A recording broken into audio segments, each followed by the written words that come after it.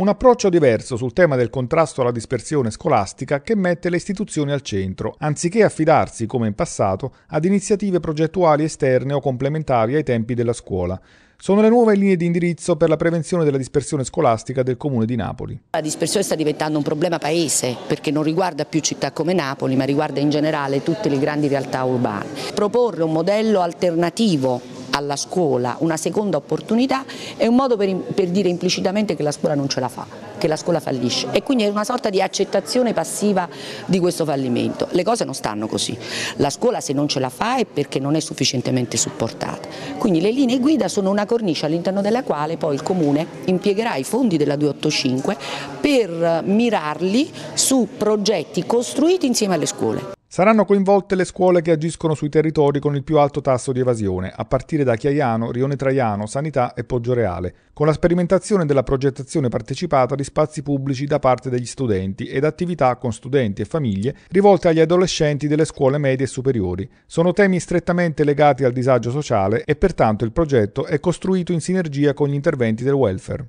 Pur in una situazione di difficoltà abbiamo trovato le risorse per, una, per un tema che noi consideriamo assolutamente prioritario. E pur in questa situazione di difficoltà siamo l'unico comune d'Italia che ha aumentato la spesa sociale, non l'ha tagliata, contrariamente a quello che si sono nel frattempo cimentati a fare la Regione Campania e il Governo nazionale. E perché se si può e si deve scrivere la prima pagina del libro dello sviluppo della ripresa economica di questa città, bisognerebbe mettere in cima a quella pagina la lotta alla povertà e la lotta alla dispersione scolastica e quindi sosteniamo